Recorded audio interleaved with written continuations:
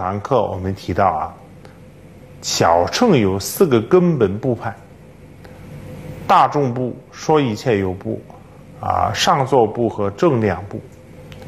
而当时呢，藏地的僧人所受的这个出家戒，全部都是来自这个说一切有部。而九姐呢，想要将另外三个部派的戒传，也都传入藏地，这样一来呢，藏地就可以完整的具备三个部派的僧团。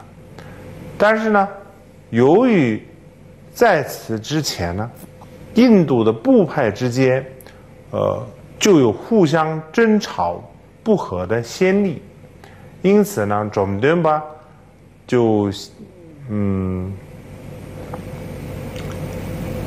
觉得藏地会有类似的情况发生，所以呢，就制止了卓杰建立四部僧团的打算。所以呢，呃，甚至今日呢，藏地所有的僧众都是属于说一切有部的僧团，僧团。总而言之呢。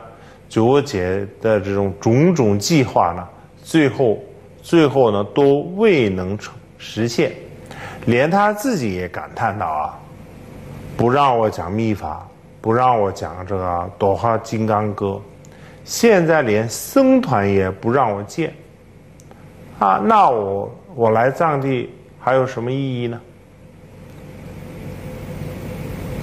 后来呢？几十年之后，米勒日巴尊者也曾经对冈波巴这样说过：“藏族人太笨了，啊，不让阿底峡尊者这样的精通秘法的人讲说秘法，简直就是愚笨之极。”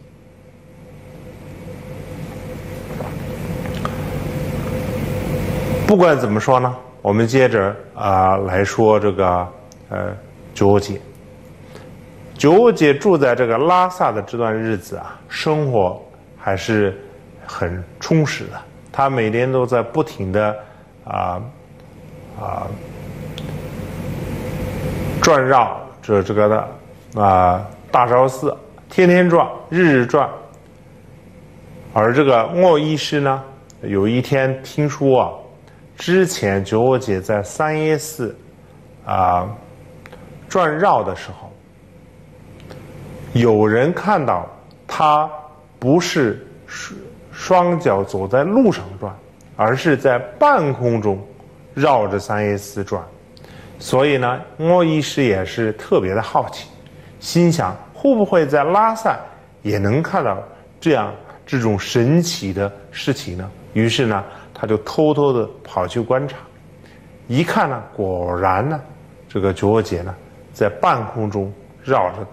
大昭寺转，无论怎么样呢，总之呢，卓姐天天绕寺的这个举动啊，感染了很多的人，大家都啊想学习这种绕行的法门，或者说是了解一下绕行的功德和方法。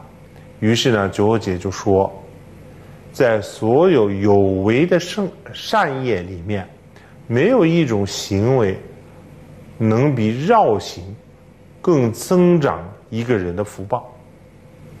比如我们在印度，曾经有很多人因为绕了某某寺院或者某某佛塔的缘故啊，而成就，啊，这种成就者大有人在。又或者呢，有些人因为绕行治好了腿肿等等疾病的，也。都不再是少数，啊，听他这么一说呢，越来越多的藏族人就开始啊转绕这个寺院和佛塔，包括现在呢，大家都在呃，大家都去藏地的时候，都会看到很多的藏族人，啊，每天都在不停的绕行寺院、佛塔、神山、玛尼石等等，什么都绕。这可能也是来自阿底峡尊者的启发。为什么这么说呢？因为在古印度呢，就有绕行的这种习俗，而且我们在佛经里啊，会经常看到一些，比如绕行佛陀三圈儿，然后呢在顶礼的，呃类类似的这种描述。但是呢，这个传统呢，在汉地并没有流传的特别广，只是藏地有这样的习俗，所以呢，这很有可能是跟九姐有关系。除此之外呢，九五姐在拉萨的时候呢，还发生了一件不可思议的事情。什么事情呢？九五姐每天就这么绕着大昭寺啊，心想啊。以前的这个占卜建了这么好的一座寺院，那在这个建造的时候，一定有很多有趣和神奇的故事，都不知道它建造的历史是什么样子，然后他就一直都在琢磨这件事情。当时在拉萨街头有一个人人都知道的女乞丐。她呢，就每天坐在街头，以织毛衣毛线为生，疯疯癫癫，啊，衣衫褴褛，所以呢，人们称她疯女。他织出来的这个东西呢，有的时候呢，不管你给多少钱，他也不卖；有的时候呢，就算分文不收，他要送给别人。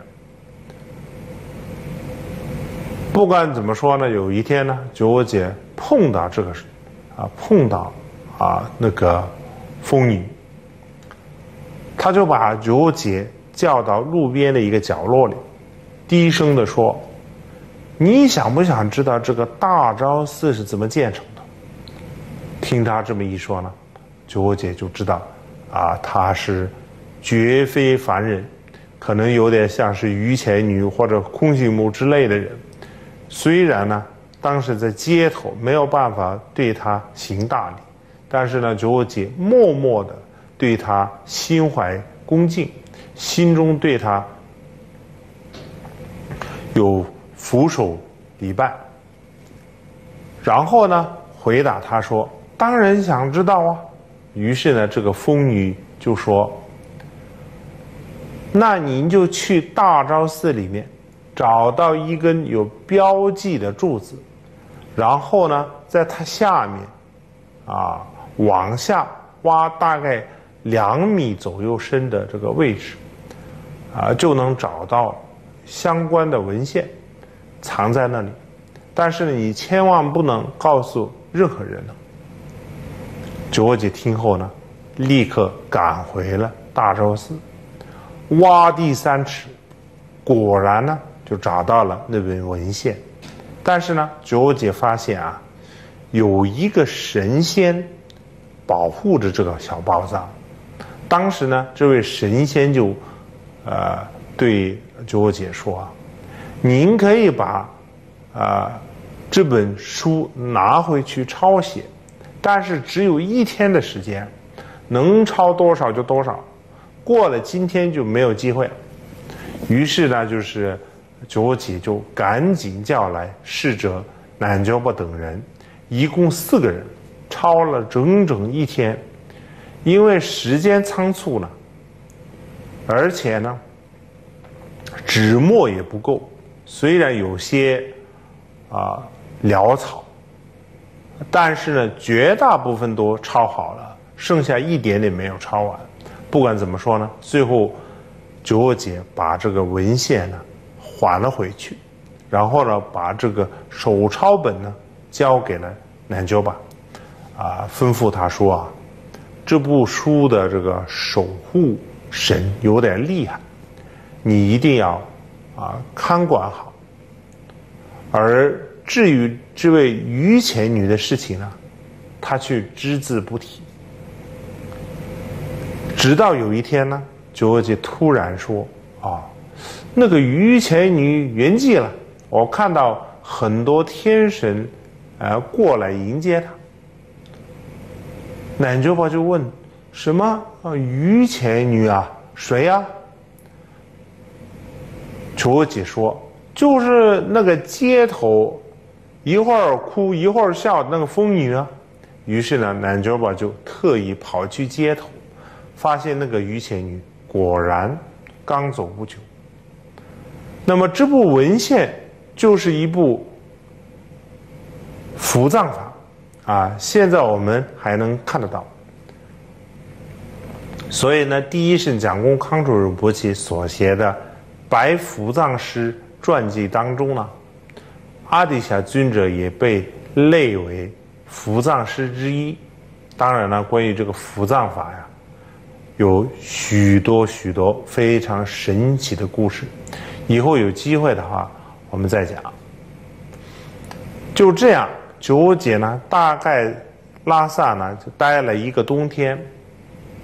春暖花开之后呢，我请求主念，迎请他前往圣地扎耶巴，在那里呢，尊者传授了一些灌顶，而且翻译了很多密教的成就法。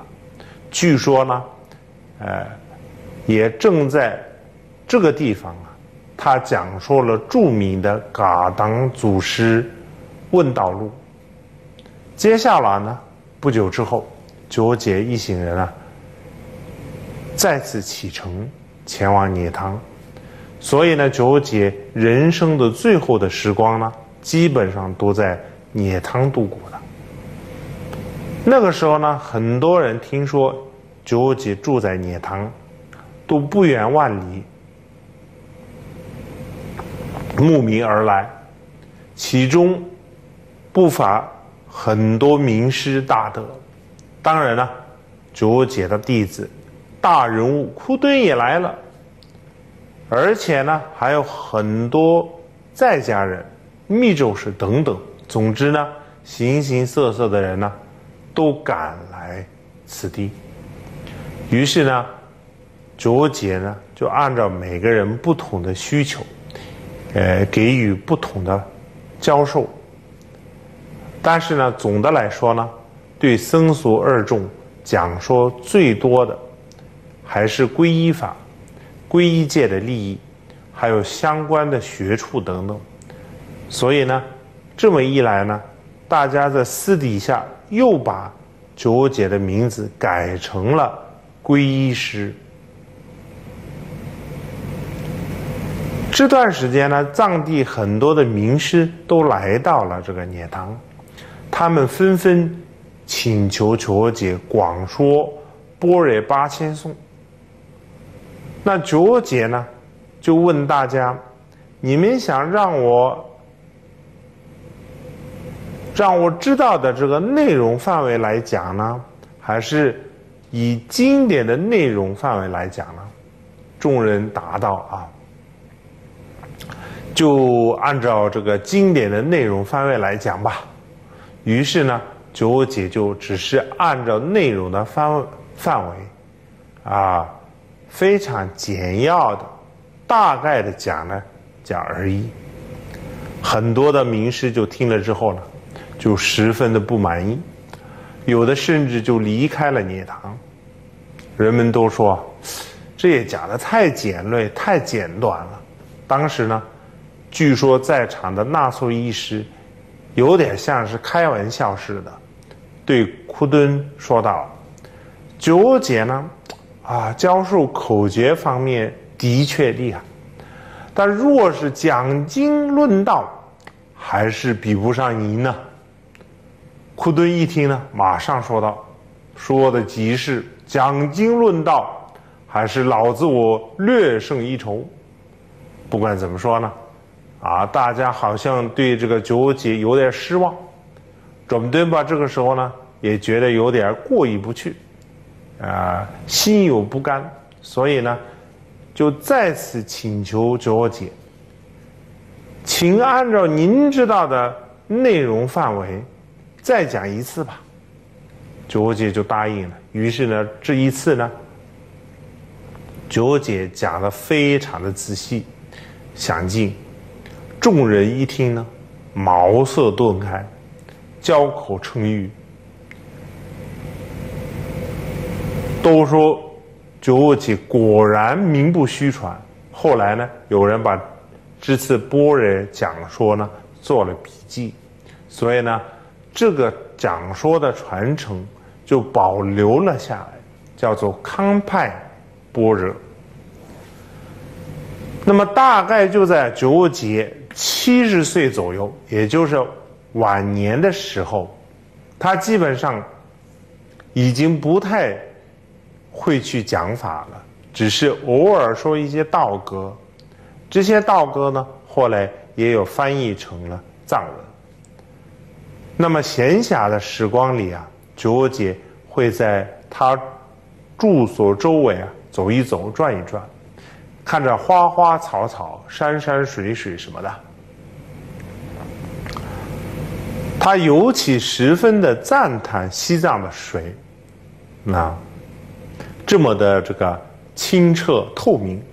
他说，在西藏累积福德，只需要供水就足够。啊，印度气候炎热，没有藏地这样清凉的泉水，所以呢。呃，九姐基本上每天都会供水。其实呢，我们现在的这个供水供杯的这个传统啊，基本上都是来自于噶当派的。九姐就这样每天散步的时候，有一天就想起总敦巴说过的话：“涅塘的花连冬天都会开。”于是呢。他就问总敦吧：“你说冬天开了花到底在哪里呢？”总敦吧就给他看了一一种叫做刺栗的植物。这种这个刺栗啊，啊，其实应该算是果实，不太算，呃，算作花，长得有点像是带刺的啊，黄杏。反正呢，这个卓木敦巴就给他看了这个次例，卓吉一见就说：“好吧，好吧，只能勉强算你没有骗人罢了。不过呢，在藏地啊，的确有一些特别漂亮的花，是上好的贡品。呃，虽然你把不是花的就东西呢，就是当场花，当当当场的花。”看来你们很喜欢花嘛，那么我会加持这里，将来能够长出很多的花。所以呢，从此以后呢，直到现在，野汤长出了很多以前没有的各种各样的鲜花。九姐呢，不仅这个喜欢花草啊，而且呢，也特别喜欢小动物。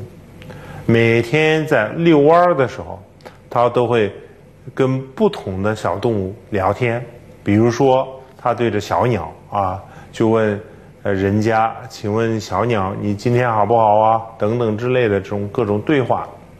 而且他尤其是喜欢小狗，经常呢就把这些小狗呢抱在怀里，一边抚摸一边说：“小狗大人呐。”今天好不好啊？啊，这辈子投胎成了这样啊，都怪以前做的不好，所以要记住哦。啊，然后呢，库顿呢，旁边看到就说：“上师啊，你一点儿都不知道怎么做个大人物。”九吉一听呢，立马说道：“啊，我才不要做什么藏地的大人物。”就会损坏我的慈悲心的。那之后之后呢，就非常让人难过的事情，就是不久之后，阿底夏就就是卧病在床了。那个时候呢，就是很多人啊为他修法祈福，而他本人呢，只要见到一次本尊，身体。啊，状况就会稍微好起来，但是这样反反复复啊，很多次之后呢，九姐的这个身体呢，终于还是一日不如一日啊。所以呢，后来这段时间呢，啊，他说的很多的法呢，感觉就像临终遗言一样。不管怎么说呢，在涅他的这段时间里啊，九姐和纳索医师呢一同翻译了很多神秘的典籍，而且呢，长久以来呢，九姐在藏地宣讲的很多法，都是那措医师的这个支持和请求之下。才实现和完整的，啊，完成的，所以可以说是纳措医师是九姐在藏地最得力，啊，最形影不离的医师，所以呢，人们呢对他尊敬有加，管他叫阿舍里，也叫也就是师父，基本上呢，啊，尊敬他的这个程度啊，啊。跟对这个九姐是差不多的，所以呢，纳措医师可以说是九姐在藏地啊最早认识的人之一。在很早的时候，有一次在尼泊尔，他们刚认识不久的时候，啊，九五姐对这个纳措说，有一位拿罗巴的弟子，呃，就是一位班智达，叫做。啊，嘎扎加纳，他有一些龙树菩萨传下来的密集金刚的口诀，我一直呢都很想接这个法，但呢始终没有机会。于是呢，他就嘱咐纳措一时在尼泊尔安排一个人，想办法找到这位班智达。然后呢，就在涅汤九姐卧病在床的时候。尼泊尔那边传来了消息，说这位班智达现在在尼泊尔。于是呢，这个纳索医师呢就马上把这个消息呢传达给了啊九姐。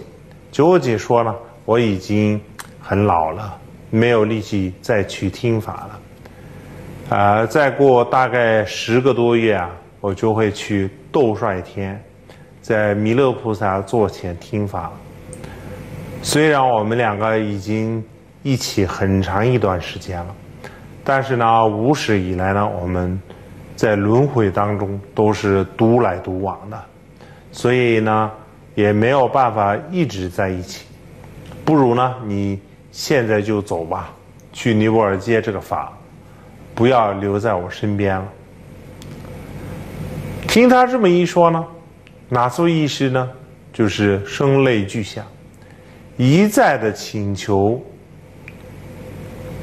啊，九姐让他留下，但是呢，最后九姐还是说：“是你把我请到了藏地，我的法脉呢，你都全部了如指掌。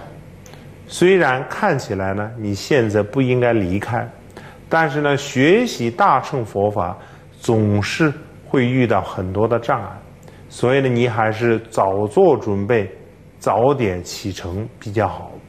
在此之前呢，你要先多做一些广大的供养，然后呢，向我祈请吧。大概又不到一个月的时间呢，从尼泊尔那边回来的两个人又捎信说，那奔智达呢？就快要离开尼泊尔回去印度了。卓吉得知之后呢，就对纳苏医师说：“啊，来生呢，我会投生到这个斗率天，名为清净天子。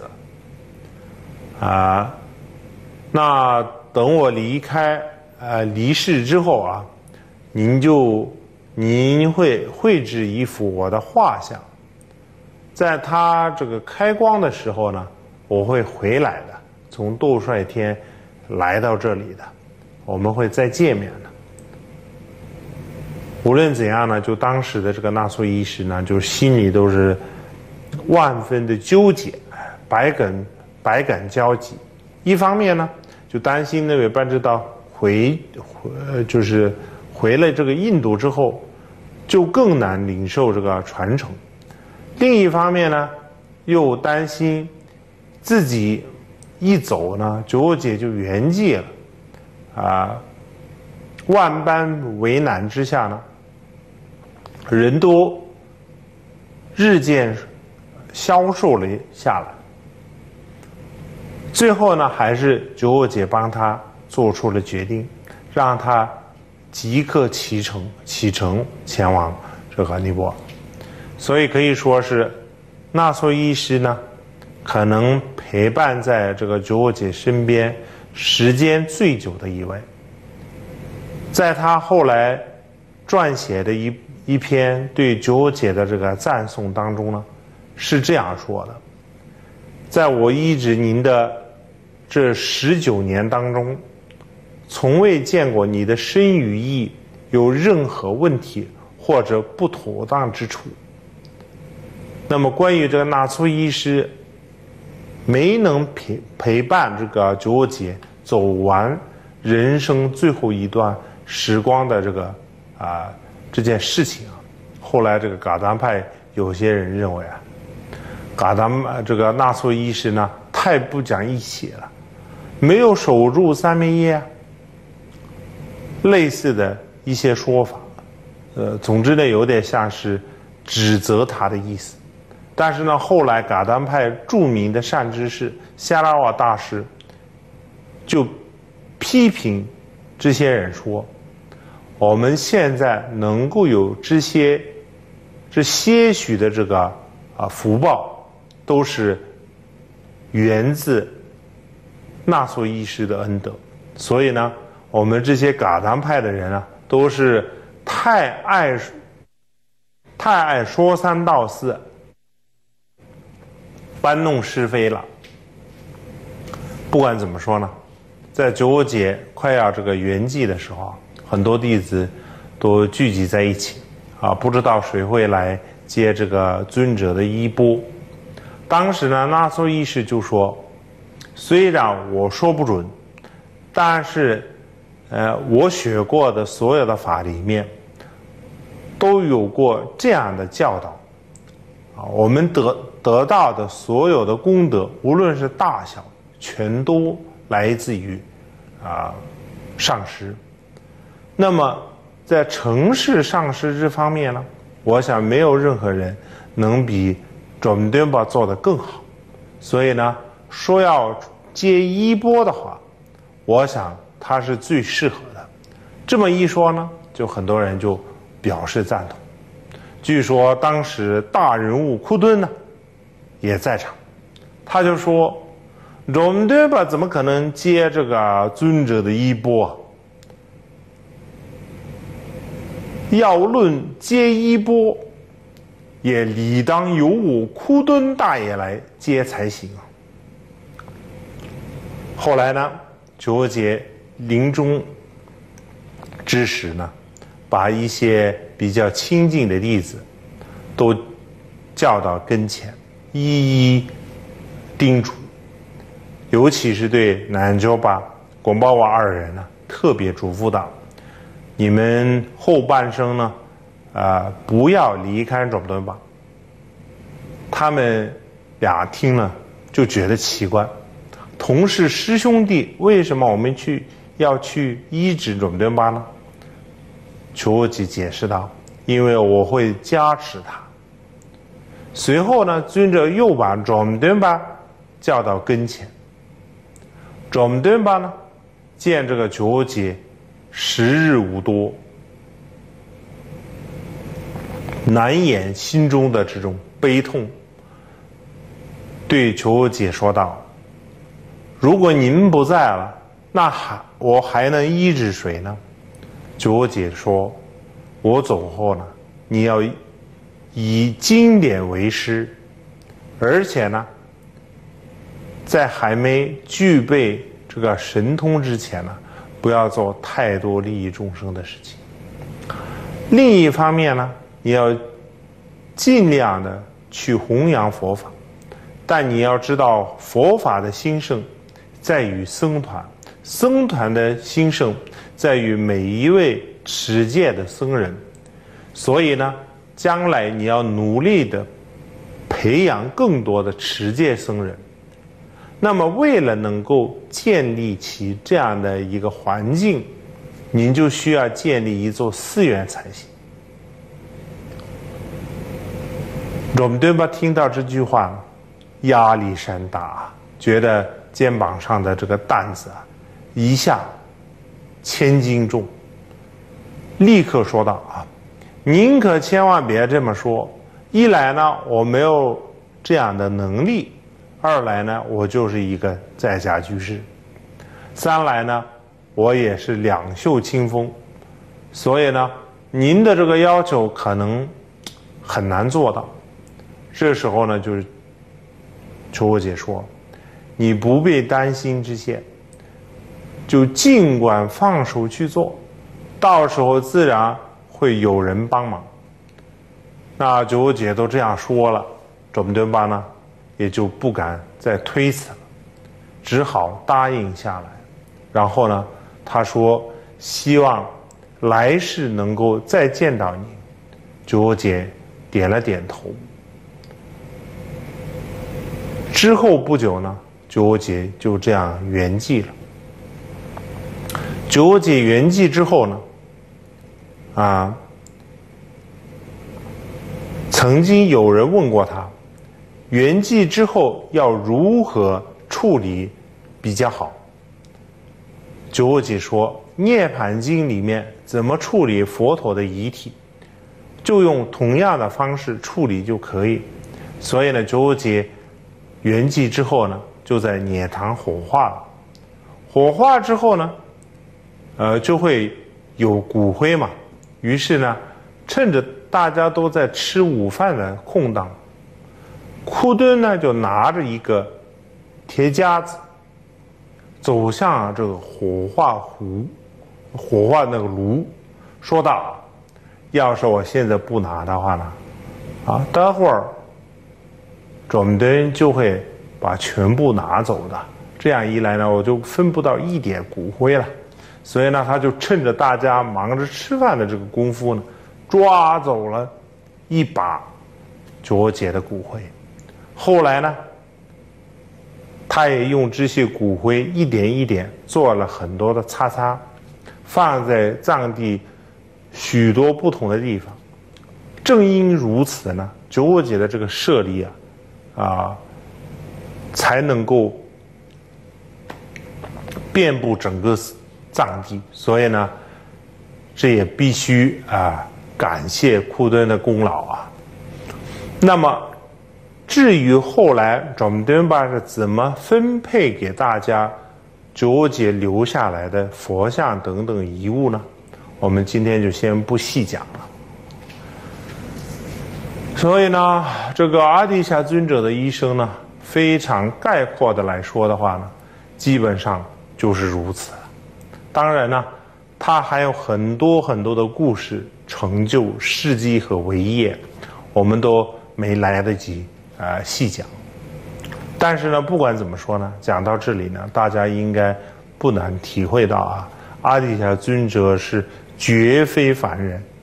从历史的角度来讲，他就是一个印度和啊藏地的啊这个佛法当中呢最重要的一位大德啊。从佛法事业来讲的话呢，他是后来无数高僧的伟大恩师、传承大师。从个人的羞耻和品性来讲的话呢，他是一位无比调柔、慈悲、心怀一切众生的大成就者。我们记得。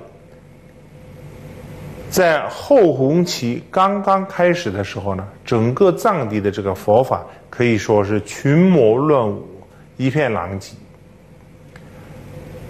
而就在这个时候呢，阿底峡尊者呢，虽然已是年过半百，但是呢，仍然义无反顾的背井离乡来到了偏远的藏地交给了藏人正信的法教规范了戒律整治和肃清了整个藏地的佛教的气氛和环境。他先是把最基础、最根本的佛法内容、因果和皈依细细的讲给了藏族人，然后呢，又次第的宣讲了菩提心的修行法门。所以呢，直到今日呢，无论我们跟随的是藏传的哪一个宗派、哪一个传承，刚开始入门和实修的时候，我们最先接触的皈依，以及后来学习的转心四法，或者说是四供加行，也就是人生难得、因果业力等等。这些内容呢，大都来自于噶当派，也就是阿底峡尊者留下传承当中。还有呢，所谓大乘法教的根本，也就是菩提心的教授里面，比如说因果七支也好，自他平等也好，自他交换也好，这些法门呢，所有。所有这些非常系统、有步骤的修行方法，也都是阿底峡尊者留给我们的教授。不仅如此呢，如果我们从整体来看，藏传佛教与其他的佛教宗派非常与众不同的一点，就是它所强调的一种大小密三乘。兼修的修行方法。换句话来说的话呢，藏传佛教绝不只是专注于学习大乘或者密乘，而是要求我们把三乘所有的法教全部融合到一起来修行，而这些将所有的教法毫无遗漏全部融汇，而且呢。又使其不相违背的独特的修行方式，也就是深受阿底峡尊者的这个影影响。换句话来说的话呢，今天的这个藏地能够发展出这样一套完整、全面而且融会贯通的修行体系，很大程度上都是尊者的功劳。虽然呢，觉杰当年并没有在藏地广传秘法，但是呢，他的这种佛行事业以及他留给后人的法脉传承，丝毫不会影响他对藏传佛教的这种贡献和他在藏传佛教当中的地位。直到后来呢，藏传佛教能够根基稳固、兴盛发展。呃，并且广传，也都和这个阿底峡有着密不可分的关系。那么最重要的一点呢，就是觉杰他本人的性格和为人。当然呢，他本来就心地善良，啊，然后呢，加上他对这个菩提心的修持。可以说，他的这个慈悲以及菩提心的这个教授，深深的影响了一代又一代的藏族人，可以说是流进了藏族人的血液里。千百年来呢，就算是那些在藏地不识字、从来没有走出过大山、完全没有受过任何教育的老人家们，也都能够。心怀众生，时时刻刻为了一切如母有情，而去不断的去祈祷和祝福。他们对所有生命的这种尊敬、善意，这种发自内心最深处的无限广大的慈悲心，我想很大程度上都是来自求解的影响和。他留给藏族人的无限的加持。如果说藏传佛教的这个前红期有寂虎大师和莲花生大师这样的大德。那么可以说，阿底峡尊者就是后弘期的奠基人和里程碑式的导师。虽然呢，他没有像莲师一样展示种种的神通变化，但是呢，他的慈悲善良、调柔、智慧和海纳百川的这种胸襟啊，又是另一种不可思议的视线，也是。这个世界上，啊，万劫难遇的一位大师，同时也是值得我们生生世世去学习的典范。如果我们总是觉得啊，自己呃见不到文殊菩萨或者观音菩萨呃等等这些啊经典里面所说的这些菩萨，那么我想可以这么说。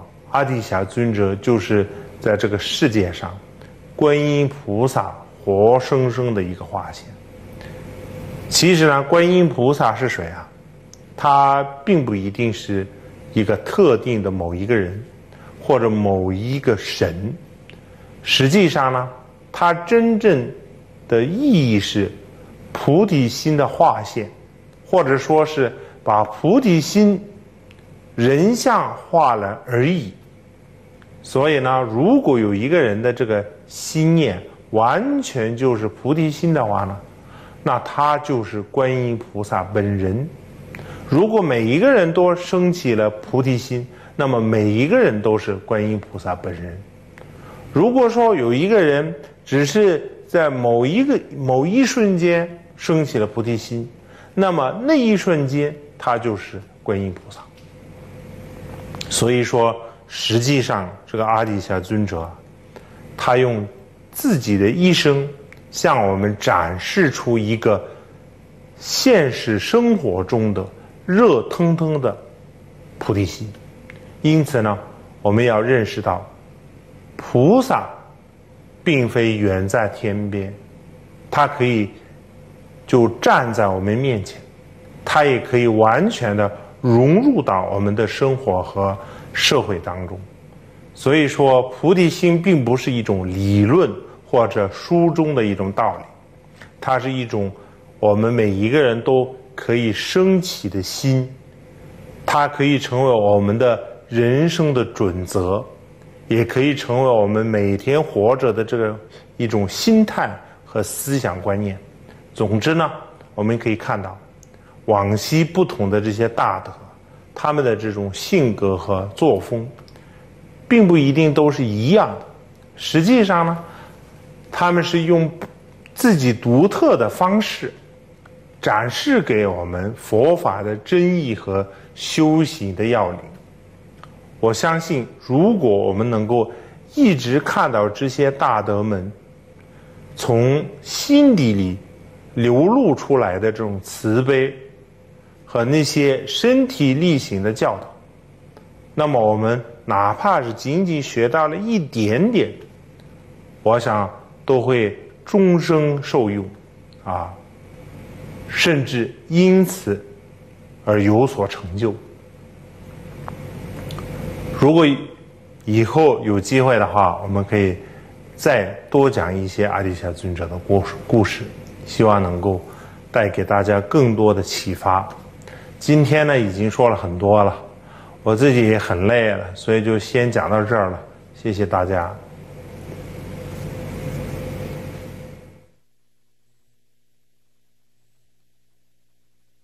天天燃灯供佛，更点亮自信光明灯。欢迎随喜护持台湾燃灯功德会，划拨账号：五零三二三八五八五零三二。三八五八，户名台湾燃灯功德会。是啊，我就下无间地狱。你要敢发，各位要不要？敢不敢啊？但是偶尔还会生气。但是佛陀还有交代，佛陀很慈悲的，不中第二支敌敌毒箭。意思说，当你起了一个嗔恨心，哦，知道错了就停下来。不是不会生气，叫不中第二支毒箭。就像你看到一个美女帅哥，嗯，看一眼不要看第二眼，不要再转过去，那你就犯贱了，对不对？哪有不美的？就是美啊，就是好吃啊，啊，就像我这么喜欢吃豆浆加鸡蛋，啊，现在不能吃这个母鸡，好可怜，是不是？啊，这个母鸡一直生生生，啊，小鸡没有几秒钟全部染成肉酱，公鸡啊。母小母鸡就给它剪嘴巴，开始给它打针，赶快让它再生。生了八个月，全部把它卖掉。一只母鸡生了八个月，它后面还可以活。那个时候是少女而已啊，因为鸡可以活十五年哦。它大概八个月就被淘汰了。淘汰一只剩下多少钱呢？你们这边澳币差不多一块二，一块二可以买一只。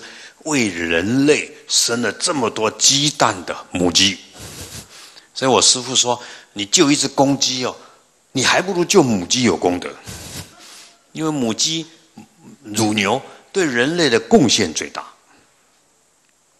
啊，问题是没地方养啊！啊，我这个月要出国之前，还有个居士跟我说：“法师，法师，做一个功德，我两万只鸭子给你。”我说：“好哎。”不要钱，问题是两万只要养哪里？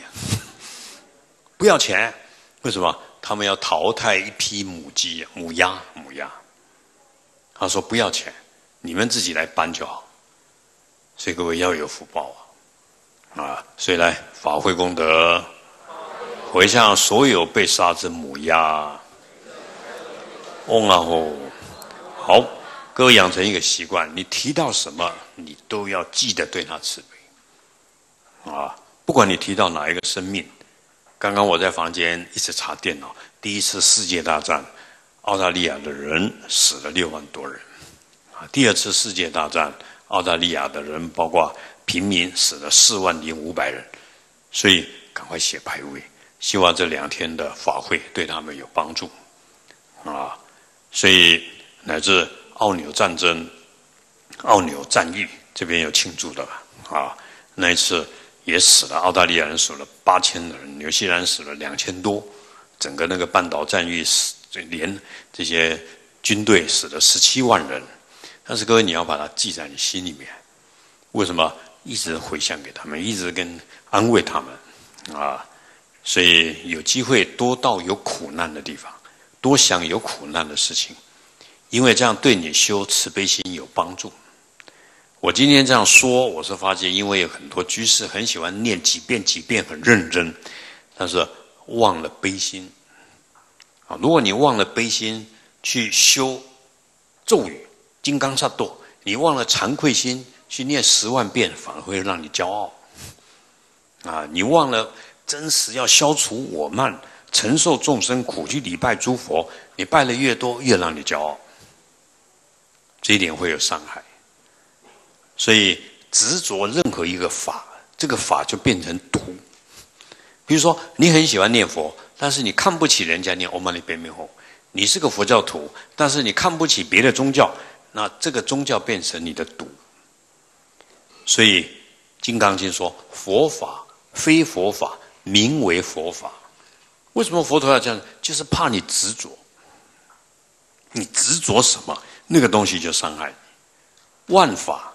就像药，我想我们洗衣服就好了。脏的东西我们要加衣服，衣加洗衣粉，洗衣粉就是佛法。最后搓搓搓搓搓干净了，请问洗衣粉要不要冲掉？你一定要把它冲掉。你的目的是衣服干净，而不是洗衣粉。不然我就干脆把衣洗衣粉都都放在身体，你就不会脏了。啊，所以说任何一个佛法。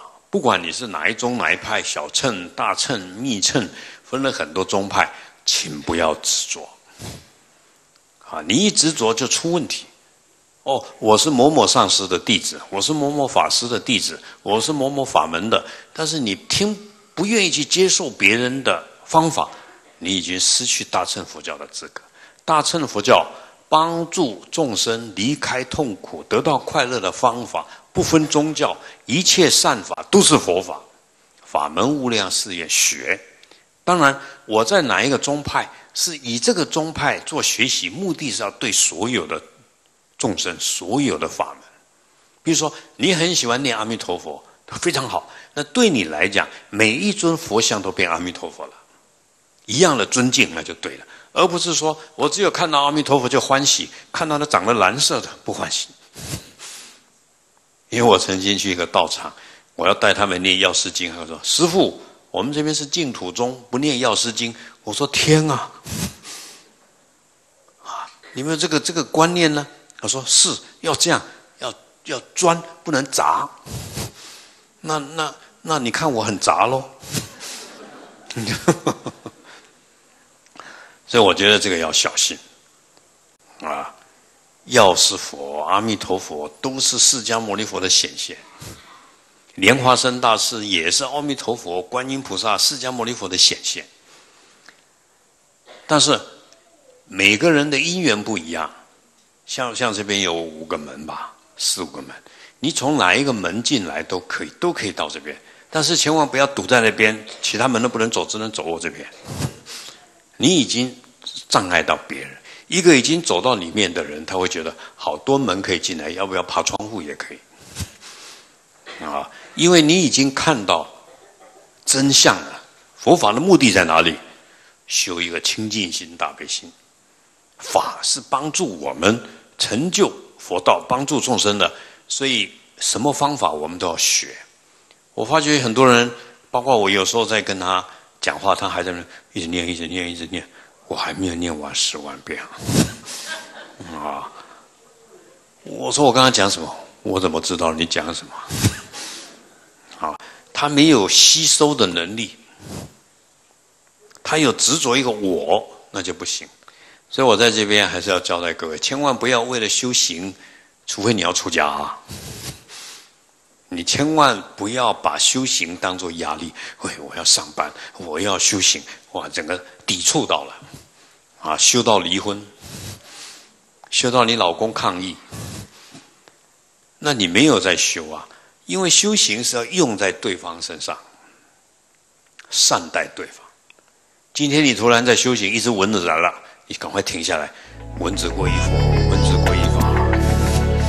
你先照顾它，那叫修行。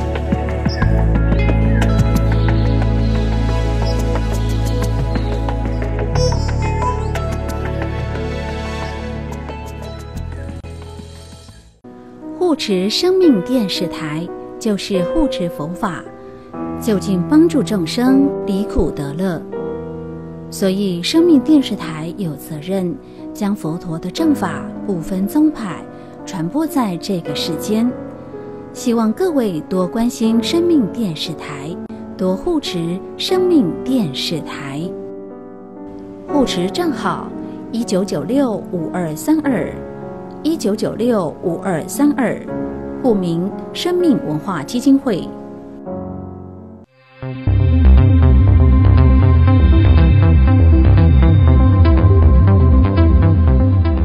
Hello, I'm Dr. Feng Yi Zhang. If your household has a confirmed COVID case, make sure that person uses a separate bedroom and a separate bathroom. Most have mild symptoms and recover quickly with extra fluids and rest. In case of these symptoms, please call 119, health officials, or dial 1922. When providing care, wear a mask and gloves and keep your hands and surroundings clean. Neither patient nor caregiver may have contact with those outside the home. Make sure that the home is well ventilated. If a bathroom or other spaces must be shared, disinfect after every use. Caregivers must also look after their own health. Once care is no longer needed, caregivers must quarantine for 14 days following the final day of contact. “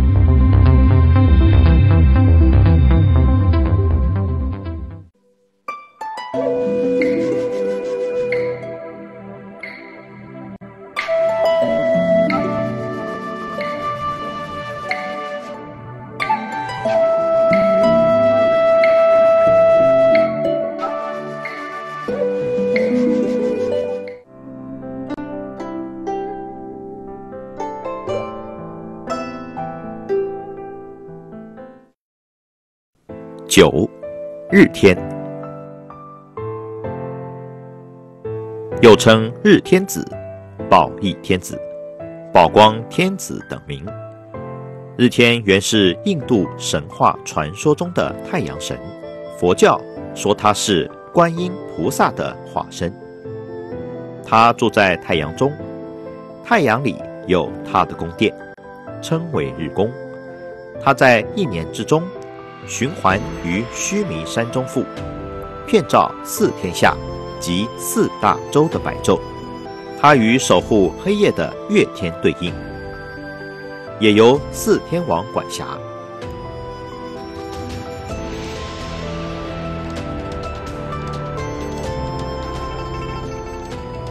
十，月天。月天又称月宫天子，原是古印度崇拜的月神。佛经说他是大势至菩萨的化身。大势至意为宝吉祥。月天即为大势至菩萨化身，所以又得名宝吉祥天。月天住在月宫中，他的身边也有许多美丽的天女陪侍。据说他有五百岁的寿命。关于月天的形象，印度和中国所传各不相同。他在印度为男性形象，佛教传入中国后。由于中国文化中也有月神崇拜，而中国的月神又被阴阳学视为阴性，这样印度的月神受中国月神信仰的影响，也女性化了，并且还吸收了中国月神的形象特征。他的形象通常为美貌后妃装束，头冠中坎满月，月中现兔形。十一，金刚密集力士。金刚密集力士以知晓如来一切秘密事迹而得名。经《光明经》记载，他是大鬼神王，与五百夜叉原都是大菩萨，为护持众生、保护佛法，他们才屈尊做了佛教的护法神。他行动十分敏捷。在佛教护法神中，以结己著称。他常侍卫在佛陀身边，得到佛陀信任。佛陀常把一切秘密要事委托于他。佛寺常把它供奉于寺院山门殿内，其形象较为特殊，一般为红色脸膛，怒气冲天，全身肌肉鼓胀，劲健刚强。明代以前，佛寺都只供一尊密集金刚。明代《封神演义》问世后，书中虚构的哼哈二将取代了密集金刚。十二，摩西首罗天。摩西首罗天又名大自在天，是印度教崇奉的主神。佛教收入摩西首罗天后，把他奉为十地菩萨，故他的塑像也为菩萨形象，头戴宝冠，身着菩萨装，骑白牛，八臂三目，手持斧子、铃、杵、举尺，地相常略去白牛。大自在天主要为密宗崇奉，密教把他视为大日如来的化身。他的诸种形象，也主要出现于密宗寺院里。十三，散支大将，又称密神。他原是印度婆罗门教中的夜叉神，为北方毗沙门天手下八大神将之一。他统领二十八部天众，经常巡行世间，赏善罚恶。有人说他是鬼子母的二儿子，但多数认为他是鬼子母的丈夫。他的形象为金刚模样，面为红色，满脸怒气，手持降魔杵，